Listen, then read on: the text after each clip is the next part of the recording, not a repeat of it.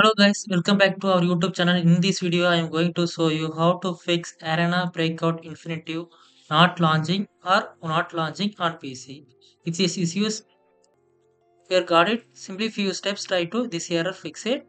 Let's start. Before like this video, subscribe to support our YouTube channel. In these steps, one by one follow to this problem, fix it. Let's start the steps. First step, add game in Windows Security. So for that, go to that window, search bar, then type that Windows Security. Just click to open it. Click on the virus and that protection. Then click on the manage settings. Then scroll down. Click on add or remove exclusion. Confirmation yes click here. Then click on the add an exclusion. Select the file option. Then go to the desktop find that game then click to select. Click on the open button click here to. Add that game. Once it added then close it. Then go to the next step.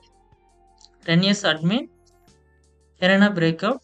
So go to the desktop find that game. Just right click. Click on the properties. Then go to the compatibility tab. Then check checkbox select the compatibility mode. Below checkbox select the run this program as administrator once it select, hit the apply and OK button click here to close it. Then go to the next step, direct software update. So go to the your browser, then type that DirectX end user runtime. Just click on this website or this website or official website. Just click to download button, click here. Then download automatically that software updated your latest version. Then go to the next step, launch option so go to the Steam, double tap to open it, then click on the library, then find that game,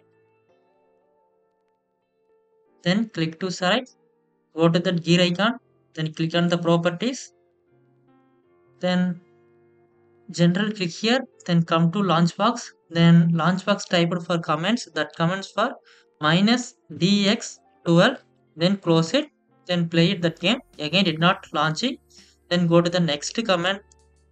Minus dx 11 again try it. That command did not working. Then go to the next step.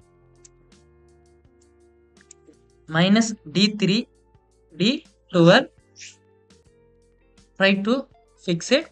If this try to fix it now definitely. Then go to that finally next step. For the verify the game files? So sometimes if you corrupted that game files you will get this error. So go to the desktop steam www to open it. Then go to that gear icon. Then click on the properties. Then click on the install files. Then finally verify integrated game files. So here. Then just click to verify that game files. Once it verifies then close it then finally your problem fix it now. I hope to this video helpful for you if you have any doubt, please ask me anytime.